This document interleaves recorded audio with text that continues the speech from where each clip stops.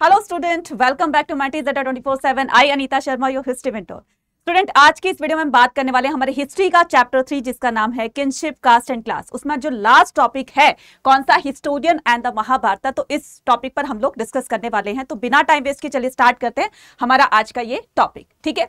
तो सबसे पहले हम बात करेंगे handling the text historian and the Mahabharata अच्छा अब ये सोचिए कि हिस्ट्री को हमारे हिस्टोरियन कैसे कंस्ट्रक्ट uh, करते हैं। ठीक है? कहीं ना कहीं से तो रिसोर्सेज जुटाए होंगे।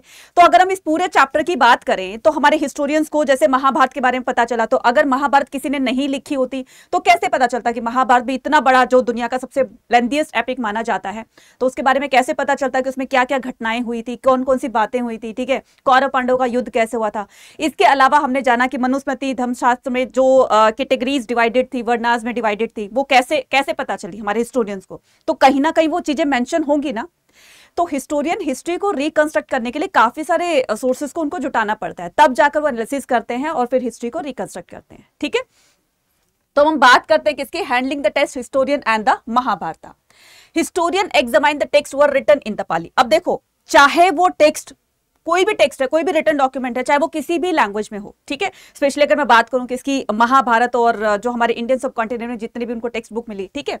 तो चाहे वो जिस भी भाषा में लिखी हुई थी कि historian examine whether the text were written in the Prakrit Pali और Tamil the language that were probably मतलब कि लोगों की जो लोकल लैंग्वेज थी राइट right? तो उसी में वो चीज़ें लिखी होंगी, जिससे कि जो रीडर होते थे, जो लोकल कम्युनिटी के जो रीडर होते थे, वो उस चीज़ को अच्छे से समझ पाते हैं फॉर एग्ज़ाम्पल मान लीजिए कि हमें जो है वो हिंदी, इंग्लिश या जो भी, जिस भी जो है एरिया से बिलोंग करता है, उसको अपनी अपनी जो भी लैंग्वेज होगी बोली होगी, उस पर उसकी अच्छी कमांड होगी तो अगर उसको उसी भाषा में समझाया जाएगा तो रीडर अच्छे से कनेक्ट कर पाएगा राइट right? अगर उसको दूसरी भाषा में हमें जापनीज नहीं आती, हमें रशियन नहीं आती बहुत ही कम लोगों को आती है। लेकिन अगर हमें उन भाषाओं में, उन लैंग्वेज में अगर हमें किसी चीज़ को समझाया जाएगा तो हमें बिल्कुल समझ नहीं आएगा। इसलिए चाहे किसी भी लैंग्वेज में, ठीक है, वो लिखी हो तो हमारे हिस्टोरियन ने पहले उनको सोर्सेस को कलेक्ट किया, ठीक है, फिर उसके बाद अपनी लैंग्वेज में या जो लोगों की लोकल लैंग्वेज थी, उसमें उसको कन्वर्ट करके या ट्रांसलेट करके उनको बताया, ठीक है?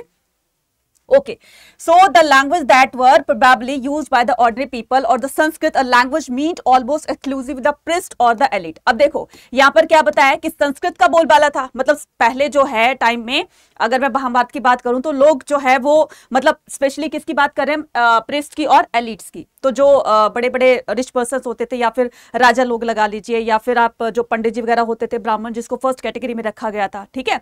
तो वो क्या करते थे? ज़्यादातर फोकस करते थे किस पर? संस्कृत भाषा पर। और उस टाइम में संस्कृत का ही प्रचलन था ठीक है? तो यहाँ पर संस्कृत वो लैंग्वेज है language meant the almost exclusive priests and elites ठीक है? तो ये जो संस्कृत लैंग्वेज है वो ज़्यादातर कौन यूज़ करते थे? प्रिस्ट और एलिट फैमिली के लोग करते थे। बिसाइड दे ट्राई टू और बाकी जो नॉर्मल जनता होती थी उनकी नॉर्मल भाषा होती थी। तो किसी टेक्स्ट को अगर उनकी भाषा में उनको समझाया जाए उन, उनकी भाषा में उनको ट्रांसलेट किया जाए तो रीडर उसको अच्छे से कनेक्ट कर पाते हैं। फॉर एग्ज़ाम्पल महाभारत में टिपिकल संस्कृत लिखी हुई थी। ठीक है, महाभारत में जब भी इसको ओरिजिनली कंपोज किया गया था तो इसको टिपिकल संस्कृत में किया गया था। अब इतनी टिपिकल तो कोई बहुत ही पहुँचा हुआ पर्सन ही उसको जो है समझ सकता है, पढ़ सकता है, ठीक है? फिर उसको इजी लैंग्वेज में, चाहे वो संस्कृत ही थी, फिर उसको इजी लैंग्वेज ट्रांसलेट किया गया, ताकि थोड़ी सी लोगों की समझ में आ जाए। फिर बाद में तो वो अलग अलग भाषाओं में ट्रांसलेट होने लगती है, जिससे कि रीडर इसको ज़्यादा ज़्यादा इससे समझ सके, इसको कनेक्ट कर सके। क्लियर है? Besides they try to find out the authors whose perspective and ideas shape the text अब जिसने भी कोई भी टेक्स्ट बुक लिखी होगी, इससे लिखी तो है। अब पढ़ने से रीडर उसको पढ़ेगा तो एक तरह से ऑथर की एक इमेज को वो जो है इमेजिन कर पाएगा कि किस तरह के थॉट्स इसमें ऑथर्स ने अपने डाले हैं। तो उससे उसकी सोच का पता चलता है कि वो कितना ज्ञानी होगा, ठीक है? जो इन चीज़ों को पूरा का पूरा एग्जामाइन करके उसकी नॉलेज लेकर तब जाके उन्होंने अपनी बुक में लिखा है, ठीक है? तो यहाँ पर देखो, वही लिखा है besides they try to find about the authors whose perspective and idea shape the text जिसने इस पूरे टेक्स्ट बुक को शेप दी है। ठीक है? टेक्स्ट बुक शेप देने का मतलब है ऐसे नहीं कि उसको आकार दिया है। आकार इन द सेंस की शेप यहाँ पर मतलब है कि उसको समझ करके जिस जिस वे से उन्होंने रीडर को समझाने की कोशिश की है यहाँ पर वो बात बनाई जा, बताई जाती है। As well as intended the audience very often authors keep to interest of their audience in mind while they composing their work तो यहाँ पर देखो कोई भी राइटर होता है कोई भी लेखक होता है तो वो अपनी बुक लिख रहा है। तो उसके पहले दिमाग में क्या वो सोच आएगी कि यार मैं कुछ ऐसी चीज़ लिखूं जिससे कि रीडर ज़्यादा ज़्यादा इसको अपनी लाइफ से कनेक्ट कर पाए।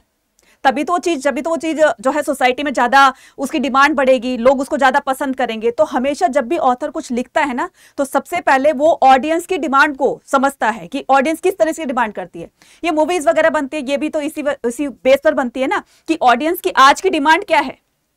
जैसे आजकल मैं बात करूँ कि हिस्टोरिकल मूवीज़ जो है वो लोग उसमें इंटरेस्ट लेने लगे हैं तो क्या कर रहे हैं कि जो प्रोड्यूसर डायरेक्टर होते हैं, वो अपना इसी तरफ़ ही रुख बदल रहे हैं। किसी भी, की भी बायोग्राफी मंगवा ली थी मतलब किसी की बायोग्राफी पर ही मूवी बनानी है तो उस पर अपना कर दिया। तो कहने का मतलब अब धीरे धीरे लोगों के इंटरेस्ट को समझ करके जो काम किया जा रहा है तो ये सबसे पहले लेखक को अपने दिमाग में रखना होता है कि किस तरह की डिमांड है ऑडियंस की तो तभी जाकर वो चीज़ें सक्सेस होती है। क्लियर है? कंपोजिंग देयर वर्क नेक्स्ट आता है significance of the Mahabharata Mahabharata की इंपॉर्टेंस क्या है?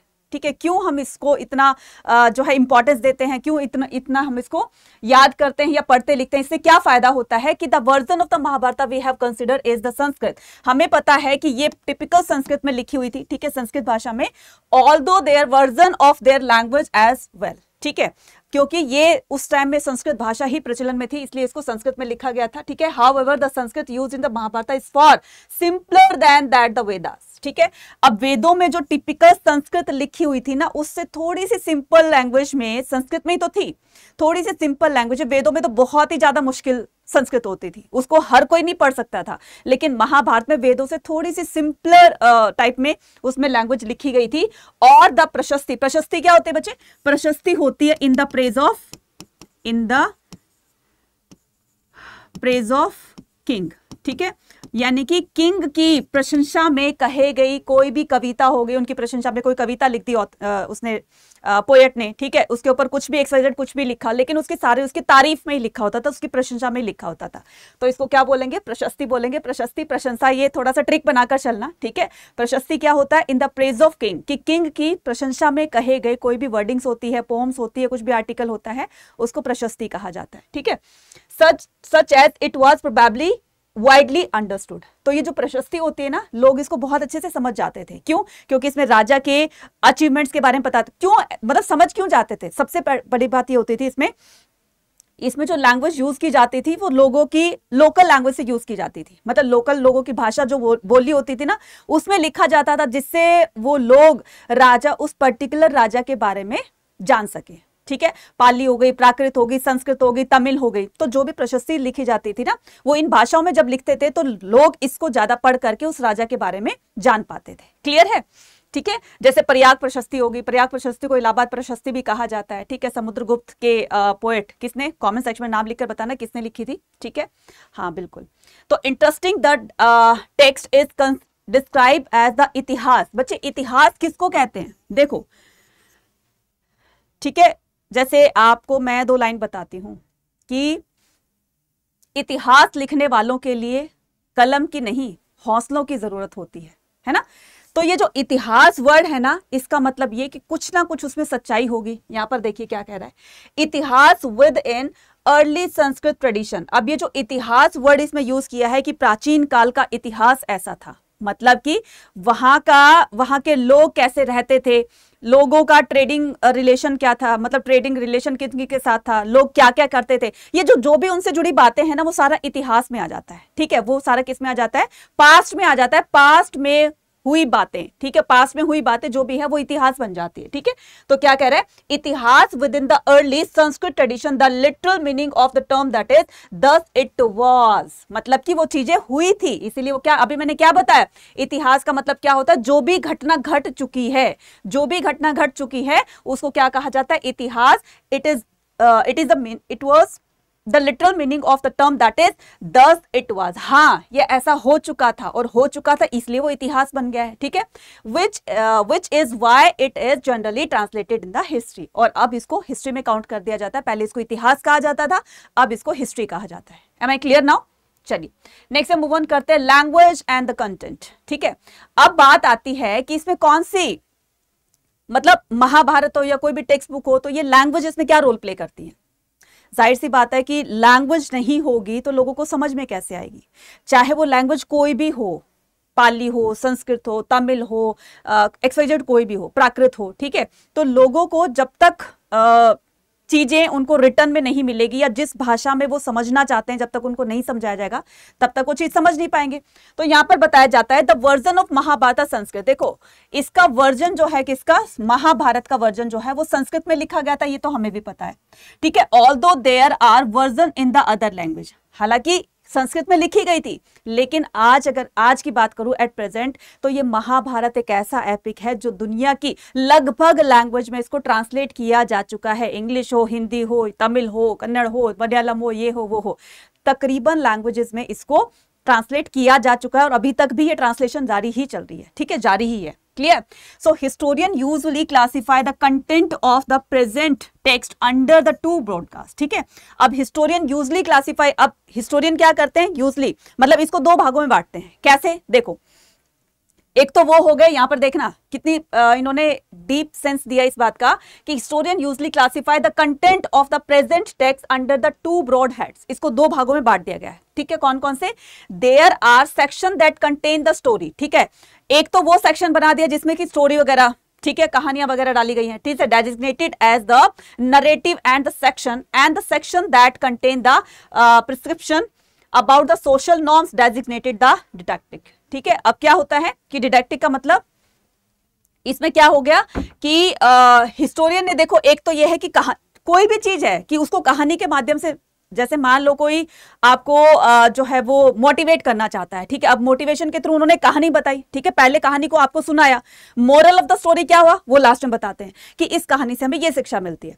तो स्टोरी जो है वो रीडर को एक तरह से कनेक्ट करने में बहुत ज़्यादा अपना इंपॉर्टेंट रोल प्ले करती है, ठीक है? दूसरा क्या आ गया?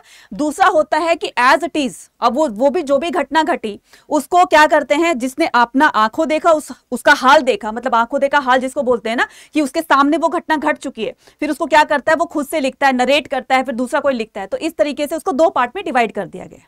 क्लियर समझाने के कई तरीके होते हैं ना बच्चे? तो इसमें दो पार्ट में डिवाइड किया गया। एक तो वो कि जो चीज़ एक्चुअल हो चुकी है, एक वो जो स्टोरीज के माध्यम से उसको बताया गया है। क्लियर है? ठीक है। डिटेक्टिव मीन्स क्या होता है? डिटेक्टिव मीन्स होता है कि इंस्ट्रक्शंस मतलब कि आपको ये चीज़ ऐसे लिखनी है, इसके बाद ऐसे लिखनी है तो एक तरह की इंस्ट्रक्शंस जो होती है तो उसको क्या बोला जाता है? डिटेक्टिव क्लियर है? नेक्स्ट कहता है कहता है कि ऑथर्स एंड द डेट अब क्वेश्चन ये पैदा होता है कि यार महाभारत किसने लिखी? है ना? बहुत सारे बच्चों को पता है कि महाभारत महर्षि वेदव्यास ने लिखी। लेकिन कहीं कहीं पर हिस्टोरियंस का यह भी मानना है या कहीं कहीं पर हम ये भी सुनते हैं या हमने लिखा हुआ देखा है कि महाभारत को गणेश जी ने लिखा था। ठीक है, गणेश जी सब्सक्राइबर मतलब गणेश जी क्या थे? स्क्राइबर थे। लिखने वाले को क्या कहते हैं? स्क्राइबर बोलते हैं। ठीक है, लिखने वाले तो गणेश जी थे, लेकिन महर्षि वेद व्यास ने उनको नरेट किया था। मतलब कि तुम्हें उनको डिटेक्ट किया था कि तुम्हें इस तरह से उसको लिखना है। तो वो बोलते गए और गणेश जी लिखते गए। ठीक है, अब ये ये तो खैर एक वो है, एक ओपिनियन दी गई है या हिस्टोरियन की राय है या जो भी उन्होंने देखा, समझा, पढ़ा, जो भी कुछ उनको पता चला तो ये एक अलग थिंग है। लेकिन आपको क्या करना है? महाभारत वॉज़ रिटर्न बाय महर्षि वेदव्यास। ठीक है, आपको ये लिखना है। तो अब हम क्या करेंगे? यहाँ पर देखते हैं। द ओरिजिनल स्टोरी ऑफ़ देखो, यहाँ पर क्या लिखा है? The original story of Mahabharata was probably compose by the probably का मतलब समझते हो? प्रोबेबली का मतलब होता है शायद। प्रोबेबली का मतलब क्या होता है? शायद, ठीक है? शायद ये जो महाभारत की स्टोरी है या महाभारत है compose by a charioteer bard known as the suta मतलब कि इनडायरेक्टली किसको बोला गया श्री कृष्ण को बोला क्योंकि वो अर्जुन के सारथी थे। सारी घटना को, सारे युद्ध को उन्होंने अपना आँखों देख, अपने आँखों से देखा था। तो हो सकता है कि इनिशियली क्योंकि उस टाइम में कोई था नहीं। सारी चीज़ें उन्होंने अपनी आँखों से देखी थी। तो हो सकता है उन्होंने लिखी हो। तो ये जो चैरिएटर आप देख रहे हो ना, चैरिएटर कौन होता है? रथकार होता है ना? चैरिएटर बार्ड्स नोन एज उसको क्या कहते हैं? उसको सुताज कहते हैं। Who generally compare the kshatriya warrior जो कि क्या गया? इनडायरेक्टली बोला गया था, जो कि एक क्षत्रिय वॉरियर था। मतलब एक योद्धा था। शायद हो सकता है उसने ये महाभारत लिखी हो। क्लियर किसको बोला गया इनडायरेक्टली श्री कृष्ण को। ठीक है? नेक्स्ट आता है। नेक्स्ट इसमें क्या बताते हैं कि then the emergence of the chiefdom such as the Kuru and Panchala Brahmanas took over the story and begin the committed it to writing अब क्या हुआ कि then with the emergence of the chiefdom जैसे जैसे राजा नए नए राजाओं का इमरजेंस होने लगा नए नए राजा बनने लगे such as the Kuru and the Panchala ये क्या थे? हमने पढ़ा था ना, महाजनपद में कुरु भी था पांचाल भी था, ठीक है? तो इस तरीके से ये वंश बनने लगे मतलब इनकी जो डायनेस्टिक रूल था, वो चलने लगा था। तो Kuru and Panchala and Brahmanas took over the story and began to committed it to writing और फिर उन्होंने क्या किया? ब्राह्मणों इसको लिखना स्टार्ट कर दिया, ठीक है? नेक्स्ट आता है कि in the next phase between the अब ये नेक्स्ट फ़ेज़ की बात कौन सी हो रही है? जो कि 200 बीसी से 200 सीई की बात हो रही है, जिसमें क्या किया गया था? मनुस्मृति को कंपोज किया गया था। याद है ना? मनुस्मृति को कंपोज किया गया था। The growing importance of the worship of the lord Vishnu इस टाइम देखो, मनुस्मृति जब आ गई थी और फिर हमने महाभारत में देखा कि श्री कृष्ण जो है वो लॉर्ड विष्णु के अवतार हैं। तो यहाँ तक आते आते लोग जान गए थे श्री कृष्ण जो है, वो किसका कार्नेशन है? लॉर्ड विष्णु का। ठीक है? वो वो लॉर्ड विष्णु के ही आ, अवतार के रूप में इस धरती पर आए थे और वो अर्जुन के सारथी बने थे जिन्होंने ये पूरा महाभारत का युद्ध अपनी आँखों से देखा। ठीक है? अब लोगों की जो एक एक धार्मिक जो सोच थी, वो धीरे धीरे बढ़ रही थी, ठीक है? और लोग जो है, वो लॉर्ड विष्णु को ज़्यादातर वर्शिप कर रहे थे। क्यों? क्योंकि जो गीता का सार दिया था मेनली जो महाभारत के युद्ध में तो लोग उससे ज़्यादा अट्रैक्ट हुए, उससे ज़्यादा इनके फॉलोवर्स बने किसके लॉर्ड विष्णु के, और इसी से ही उनकी डिवोशन जो है लॉर्ड विष्णु के प्रति बनती चली गई। Lord Vishnu led to the identification of the lord Krishna one of the important figure in this epic ये क्या बताया गया? लॉर्ड कृष्णा जो है, इस पूरे एपिक में, इस पूरे पूरे ग्रंथ में एक इंपॉर्टेंट फिगर मानी गई है। क्यों? क्योंकि एक तो देखो, वो लॉर्ड विष्णु का एक तो अवतार थे। ठीक है दूसरा क्या था कि उन्होंने पूरा आँखों देखा हाल महाभारत का पूरा युद्ध अपनी आँखों से देखा था। तीसरा क्या था उन्होंने सबसे बड़ा चीज़ जो थी उनकी वो थी गीता का ज्ञान यानी कि युद्ध रणभूमि में जो उन्होंने अर्जुन को गीता का ज्ञान दिया कि वो जब युद्ध करने से मना कर रहे थे तो उन्होंने उनको समझाया कि तुम्हारा काम ये नहीं है कि तुम नहीं कर रहे हो तुमसे भगवान करवा रहा है ये ठीक है ना? कि तुम नहीं कर रहे हो तुम अपना कर, कर्म किए जाओ फल की चिंता मत करो। ठीक है ना? वाधिकारस्ते माँ फलेशु कदाचन। कि तुम बस कर्म करते जाओ, फल की चिंता मत करो, फल वो अपने आप देगा। ठीक है ना? तो गीता का ज्ञान जो है उन्होंने दिया इस वजह से वो जो है ज़्यादा इसके आ, इनके फॉलोअर्स बन जाते हैं डिवोटीज जो है लॉर्ड विष्णु के बन जाते हैं with him and subsequently between the 200 to 400 C large didactic sections resembling the Manusmriti was added और फिर क्या किया? इसमें मनुस्मृति को भी ऐड कर दिया गया। मनुस्मृति क्या थी? एक एक हैंड रिटन डॉक्यूमेंट था जिसमें सोसाइटी के लिए सारे रूल्स रेगुलेशन बनाए हुए थे तो वो भी इसमें एड कर दी गई। क्लियर है? चलिए नेक्स्ट मूव ऑन करते हैं the search for the convergence ठीक है the search for the convergence अब बताया जाता है कि the Mahabharata like the major epic हमें पता है कि महाभारत जो है, वो एक बहुत ही बड़ा एपिक है मेजर एपिक है contain the vivid description of the battle Mahabharata में खाली कौरव और पांडव का युद्ध नहीं बताया गया। इसमें मैंने बताया था ना, जब इसको स्टार्ट किया था, कि महाभारत में काफ़ी सारी चीज़ों का हमें वर्णन मिलता है, काफ़ी सारी चीज़ें चीज़ों के बारे में हमें जानकारी मिलती है। जैसे अब मान लीजिए फॉरेस्ट ड्वेलर्स हैं फॉरेस्ट में रहने वाले लोग कैसे रहते हैं क्या क्या एक्टिविटीज़ करते हैं तो इसका भी वर्णन हमें महाभारत में मिलता है, ठीक है? फॉर एग्ज़ाम्पल बैटल्स के बारे में, ठीक है? फॉरेस्ट के बारे में प्लेसेस एंड द सेटलमेंट्स लोग कैसे कैसे हाउसेज में बिल्डिंग्स में रहते थे, वो सारी चीज़ें इसमें बताई गई है। इसको डिस्क्राइब किया गया है। 1951 यहाँ से वन मार्क का क्वेश्चन आता है। 1951 52 में एक आर्कियोलॉजिस्ट थे, जिनका नाम था बीबी लाल क्या नाम था उनका? बीबी लाल बीबी लाल ने क्या किया? हसनापुर का जो है वो एक्सबिशन के दौरान हसनापुर के एविडेंसेस को पता किया कि excavated a site at a village named named Hastinapur in the Meerut district अभी हस्तिनापुर कहाँ पर है? ये है मेरठ डिस्ट्रिक्ट में। ठीक है, हस्तिनापुर क्या है? मेरठ डिस्ट में, मेरठ डिस्ट्रिक्ट में जो कि कौरव पांडवों की राजधानी कही जा सकती है, ठीक है? Lal found the evidence of the fine occupation अब देखो आर्कियोलॉजिस्ट का काम क्या होता है कि चीज़ों खुदाई के दौरान जो भी उनको चीज़ें मिलती हैं, उनका पता लगा करके फिर दुनिया को बताना होता है। यही तो काम होता है ना? तो ये जो आप देख रहे हो ना आर्कियोलॉजिस्ट थे कौन? बीपी लाल तो जब इन्होंने खुदाई के दौरान हस्तिनापुर के कुछ एविडेंस निकाले तो फिर इनको पता चलता है कि यार, ये तो बहुत टाइम पहले कौरव पांडुओं की राजधानी थी, ठीक है? कैपिटल थी। तो इसमें जैसे जैसे उनको पता चलेगा, वैसे वैसे रीडर का आर्कियोलॉजिस्ट का हिस्टोरियन का तो इसमें इंटरेस्ट बढ़ता चला जाएगा।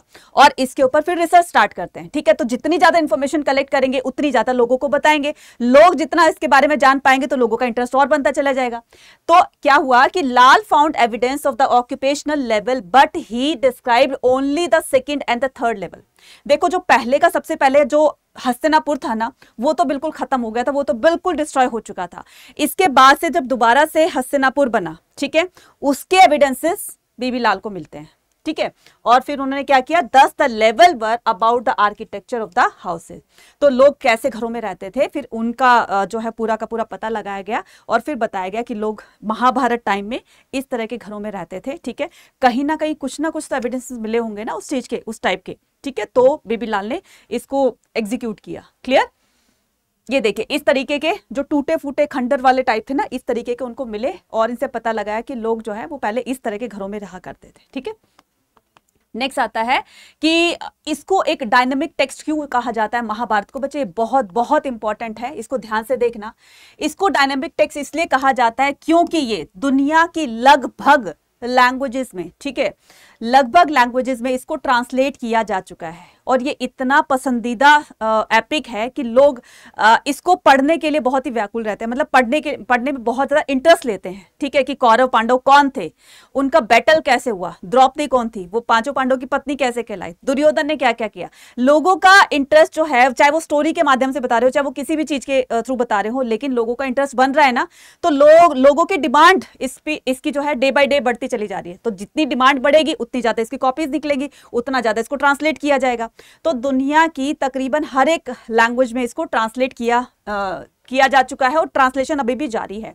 The Mahabharata can be consider as the dynamic text. It is being written over a span of a time and growth of the Mahabharata did not stop with the Sanskrit version. ये खाली Sanskrit version तक ही stop नहीं हो गई थी। ये खाली Sanskrit version तक ही सीमित नहीं रह गई थी, बल्कि इसको बहुत सारे लैंग्वेजेस में ट्रांसलेट किया गया। Over the century many version of the epic were written in the variety of languages ठीक है? Through and ongoing the process of a dialogue अब इसमें जो खासकर रीडर को अट्रैक्ट करते हैं वो क्या हो गए? डायलॉग्स हो गए। ठीक है? डायलॉग्स का मतलब दुर्योधन के क्या डायलॉग्स थे? युधिष्ठर के अब इसमें आपने महाभारत भी देखी होगी ना। महाभारत के ऊपर मूवीज़ भी बन चुके महाभारत के ऊपर सीरियल्स भी बन चुके महाभारत पूरी एक आ, जो पहले के टाइम में दिखाई भी जा चुकी थी, है ना, रामायण महाभारत, ठीक है ना? तो आप बताना जरा कि मम्मी पापा से पूछना कि क्या उन्होंने वो जो पहले, सबसे पहले वाली जो महाभारत आया करती थी हमारे दूरदर्शन चैनल पर, उन्होंने देखी थी क्या? डेफिनेटली वो बताएँगे कि हाँ देखी थी। और पूरी आपसे भी जितना, जितने आज के जनरेशन नहीं जानते महाभारत के बारे में, जितना वो लोग जानते थे, ठीक है? तो epic were written in the variety of the language through an ongoing process of a dialogue between the peoples ठीक है communities and those who wrote the text ठीक है? उनके बीच में कैसी कैसी कन्वर्सेशन होती है, किसने क्या बोला, वो सारी चीज़ें बच्चे कहीं ना कहीं तो लिखी हुई मिलेगी ना। अब गीता का सार जब दिया अर्जुन को तो गीता में क्या क्या बोला गया था, ठीक है? वो चीज़ें कहीं ना कहीं तो रिटर्न होगी ना, कहीं ना कहीं तो उसका प्रूफ होगा। दुर्योधन ने क्या बोला, युधिष्ठिर ने क्या बोला, द्रौपदी ने क्या बोला, कुंती ने क्या बोला, ठीक है? धृतराष्ट्र ने क्या बोला, वो सारे डायलॉग्स उसमें लिखे होते हैं, ठीक है? इससे जो है वो पूरी एपिक का एक कंस्ट्रक्शन होता है, तब जाकर ये पूरी की पूरी महाभारत बनती है, ठीक है? तो ये था हमारा आज का टॉपिक आई होप आपको सभी टॉपिक्स क्लियर हो गए होंगे और आज हमारा ये चैप्टर हो गया है फिनिश ठीक है? अगर आपका भी सपना है हिस्ट्री में बोर्ड एग्ज़ाम प्लस यूटी में फोड़ने का 80 आउट ऑफ़ 80 या 200 आउट ऑफ़ 200 लेने का तो आज ही ज्वाइन करें हमारे इस बैच को, जिसका नाम है समर्थ बैच। काफ़ी सारे इनरोलमेंट्स हो चुके हैं, ठीक है? 80 आउट ऑफ़ 80 बोर्ड में लाना 200 आउट ऑफ़ 200 आपके सी में लाना तो वो पॉसिबल हो सकता है हमारे इन बैचेस के थ्रू ठीक है?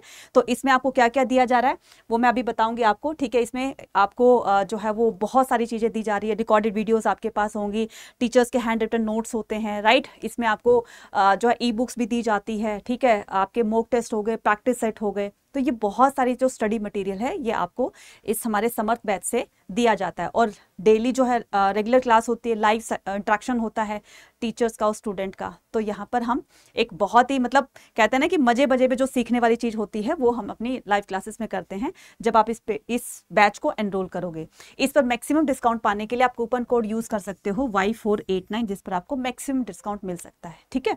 और इसके अलावा अगर आप चाहते हैं इसके अलावा अगर आप चाहते हैं कि इसको कैसे परचेज किया जाए, इस पर डिस्काउंट कैसे मिलेगा तो वो मैं अभी बताती हूँ। लेकिन इससे पहले आप चैनल को सब्सक्राइब ज़रूरी कीजिएगा, क्योंकि ह्यूमैनिटी स्टूडेंट के लिए स्पेशल चैनल है और ये आपका लास्ट तक आपके बोर्ड एग्ज़ाम तक जो है बना रहेगा और आने वाले टाइम जो सीयूटी का एग्ज़ाम दोगे, उसकी भी तैयारी हमारी यहीं पर होगी। तो चैनल को सब्सक्राइब ज़रूर कीजिएगा। कमेंट सेक्शन में लिखकर बताइएगा कि आपको वीडियो कैसे लगी या कोई भी डाउट होता है तो आप उस पर लिखकर बता सकते हैं।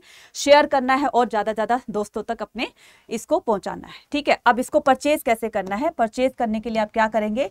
अड्डा ट्वेंटी की एप्लीकेशन को डाउनलोड करोगे और यहाँ पर क्या लिखोगे? यहाँ पर जैसे आपने लिखा कि डायरेक्ट गूगल पर जाकर भी आप टाइप कर सकते हैं अड्डा ट्वेंटी फोर सेवन।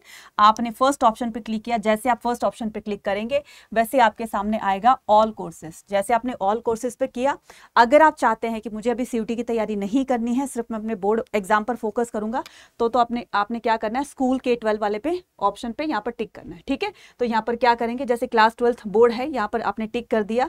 ये साइंस का, ये है कॉमर्स का और ये है आर्ट्स का, ठीक है? और जैसे आप इस पर क्लिक करोगे अपने आर्ट्स पर, अपने नियर डेयर को भी बता सकते हो कूपन कोड बता देना उनको कि ये लगा लेंगे और उनको मैक्सिमम डिस्काउंट मिल जाएगा, ठीक है? अब हमने क्या किया है, देखो ये कोर्स कितने का है? टू फाइव फोर नाइन का, ठीक है? ट्यूशन भी लगाओगे तो इससे महँगी पड़ेगी ट्यूशन इससे सस्ती तो पढ़ने से रही, ठीक है? तो वाई फोर एट नाइन ये कूपन कोड लगाएँगे Y four Y four eight nine ये कूपन कोड लगाएँगे अप्लाई करेंगे और जैसे आप इसको अप्लाई करोगे, वैसे ही आपके पास सेवनटीन परसेंट का डिस्काउंट आ जाएगा और ये कोर्स सिर्फ़ आपको पड़ रहा है टू फोर एट नाइन का। अब इसकी वैलिडिटी देखिए कितने की है? ट्वेल्व मंथ की। अब आप खुद सोचो कि आप एक सब्जेक्ट का अगर आप हज़ार रुपये देते हैं थाउज़ेंड रुपीज़ देते हैं तो टोटल आप फोर सब्जेक्ट्स लगाओगे तो पर मंथ आपको फोर थाउज़ेंड रुपीज़ देने होंगे। लेकिन आप ये देखो ट्वेल्व मंथ में ये कितना मिल रहा है? Two thousand four hundred eighty nine rupees only average लगाकर चलो यार, कितनी कम एवरेज है। जल्दी से जाओ, अपने सपनों को साकार करो कि हमारा सपना है बोर्ड एग्ज़ाम में बहुत अच्छा स्कोर करने का तो आप ये कर सकते हैं। इसके अलावा चाहते हो कि नहीं मैडम, मुझे तो बोर्ड एग्ज़ाम के साथ में मुझे सी की भी तैयारी करनी है ताकि मैं एक ही जगह पर दोनों चीज़ें मुझे मिल जाए तो आप जा सकते हैं हमारे किस पर? सी वाले बैच पर। ऑल कोर्सेज पर क्लिक किया, फिर अंडर एंट्रेंस एग्ज़ाम पर क्लिक किया सी पर क्लिक किया। ये आपका आर्ट्स का कोर्स है, ठीक है? आपने आर्ट्स पे क्लिक किया और फिर आपको समर्थ बैच ये मिल जाएगा आपको कंप्लीट जिसमें आपको डोमेन सब्जेक्ट के साथ साथ में आपको जीटी इंग्लिश भी पढ़ा, पढ़ाई जा रही है और इस बार आपका अप्रैल में एग्ज़ाम खत्म होगा और मई में आपका सीयूटी के एग्ज़ाम स्टार्ट हो जाएँगे। तो इसमें तैयारी करने का हमारे पास इतना टाइम नहीं रहेगा प्रिपरेशन करने का कि हम एक अच्छी तैयारी लेकर जा सके। इसलिए अभी से तुम अपनी स्टार्ट कर दो तैयारी प्रिपरेशन जिसके बिहार पर अच्छी रिविजन लेकर जाओगे और एक अच्छा स्कोर आप पा सकोगे। इसको क्या करना है? बाय नाउ पे क्लिक करना है। जैसे आपने बाय नाउ पे क्लिक किया, फिर से कूपन कोड लगा देना वाई फोर एट नाइन ठीक है? ये कूपन कोड याद रखना। अब देखो, ये कोर्स कितने का रह गया अभी आपका? एट सेवन वन फोर का। वैलिडिटी कितनी है पूरी? ट्वेल्व मंथ की। इसमें आपके सीयूटी प्लस बोर्ड एग्ज़ाम दोनों की प्रिपरेशन करवाई जा रही है, ठीक है? मिलते हैं अपनी नेक्स्ट वीडियो में। Till then take care bye